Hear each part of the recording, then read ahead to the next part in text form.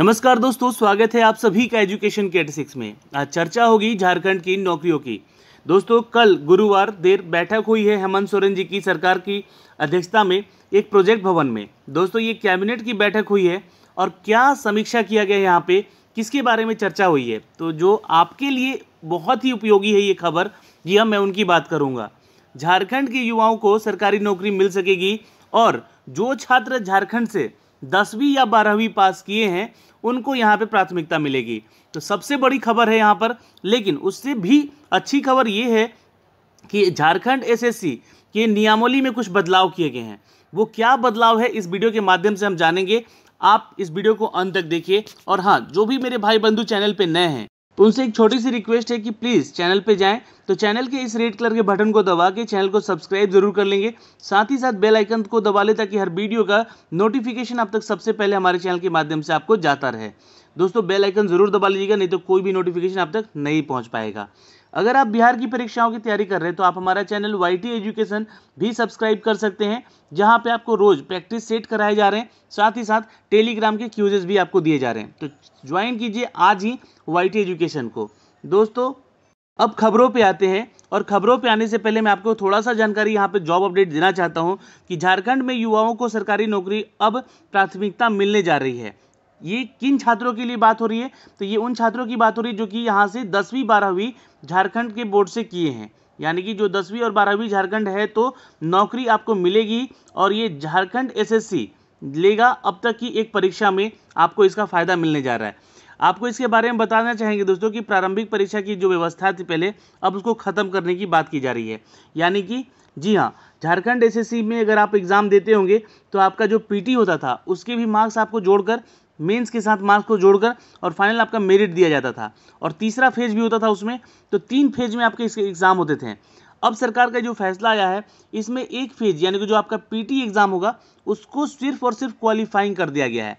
यानी कि आपको इसमें अगर कट ऑफ़ नहीं भी पार कर पाए और सिर्फ़ क्वालिफाइड है तो आप इसके मीन्स और थर्ड फ़ेज़ का एग्ज़ाम है, वो आप दे सकते हैं। उसी की चर्चा की गई है यहाँ पे। दोस्तों, इस वीडियो के माध्यम से हम आपको सारी जानकारी देने जा रहे हैं। तो यहाँ पे दोस्तों, क्या संशोधन हुआ, ये बातें यहाँ पे आपको देखने को मिल जाएगी। जी हाँ 2021 के गठन के प्रस्ताव पर मुहर लग गई है और इसके तहत अब राज्य सेवा के अभ्यर्थियों को झारखंड की स्थानीय रीति रिवाज भाषा परिवेश का ज्ञान होना अनिवार्य कर दिया गया है।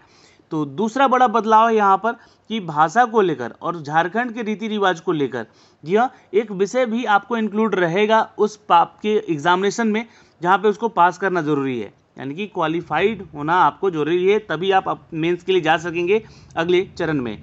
दोस्तों, मैट्रिक स्तरीय परीक्षा संचालन नियमावली के अंतर्गत अभ्यर्थियों को न्यूनतम शैक्षणिक अर्हता में संशोधन करते हुए यह तय किया गया है कि अब अभ्यर्थियों को झारखंड में अवस्थित जितने भी मान्यता प्राप्त शैक्षणिक संस्थान हैं, उनमें से न्यूनतम मैट्रिक या फिर दसवीं जो कक्षा होती है, उत्तीर्ण होना ज़रूरी है।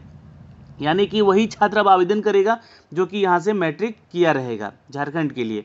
दोस्तों, लेकिन यह प्रावधान झारखंड की आरक्षण नीति में आने वाले अभ्यर्थियों और अनुकंपा के मामले में शिथिल रहेगा। जी हाँ जिनके फादर अगर यहाँ पे जॉब कर रहे हैं या मदर जॉब कर रही है और उनके डेथ के बाद उनको ये नौकरी मिल सकेगी अनुकंपा के आधार पे तो उसके लिए शिथिल रहेगा एज इट इज़ जैसा कि नियमावली चल रहा है। इसका मतलब है, यदि झारखंड के आरक्षित श्रेणी का कोई भी अभ्यर्थी अन्यत्र से भी मैट्रिक पास किया हो तो वो परीक्षा से वंचित नहीं रहेगा। तो ये एक अपडेट है दोस्तों।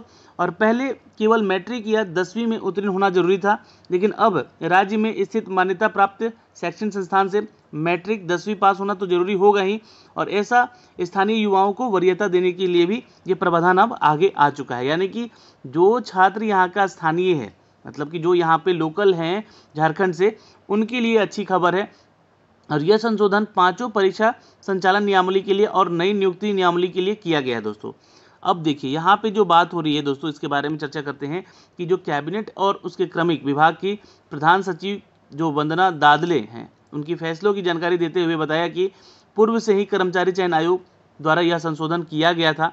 मैट्रिक और इंटर स्तर पर प्रारंभिक और मुख्य परीक्षा की जगह केवल अब मुख्य परीक्षा होगी।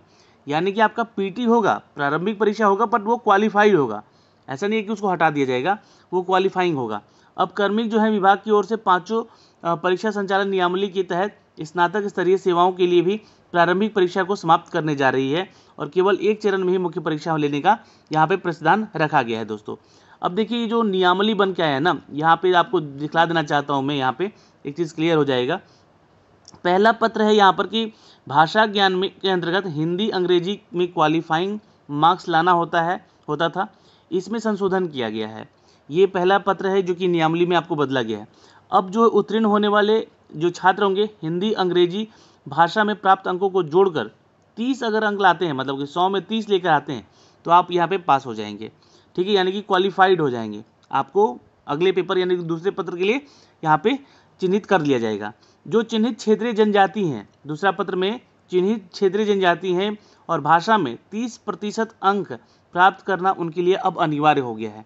तो दूसरा प्रपत्र में यानी कि आपका जो लोकल लैंग्वेज है वहाँ का, जो भी जनजातीय भाषा होता है, उसमें आपको तीस परसेंट लाकर क्वालिफाई होना पड़ेगा। ये दूसरा प्रावधान रखा गया है। अब दोस्तों, तीसरा प्रपत्र में क्या कहा गया है? तो ये देखिएगा। अभ्यर्थी को सामान्य ज्ञान का पेपर देना होगा, जिसमें कि तीस परसेंट अंक लाकर प्राप्त करना होगा। ये आपका सिर्फ़ बात हो रहा है पीटी का, यानी कि क्वालिफाई होना ज़रूरी है सब में। तीस परसेंट अंक लेकर आए then you can qualified for the mains ठीक है? अब रही बात की मेघा सूची कैसे बनेगी।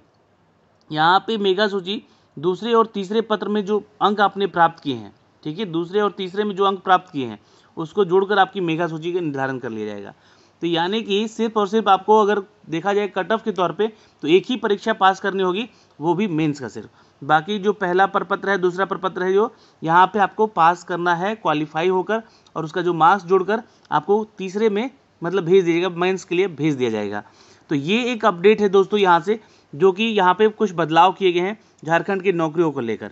और टोटल देखिए यहाँ पे अगर देखें हम तो मंत्रिमंडल की जो बैठक हुई है, उस बैठक में प्रस्ताव को मंजूरी प्रदान किया कर दिया गया और बैठक में कुल सत्ताईस प्रावधान रखे गए हैं।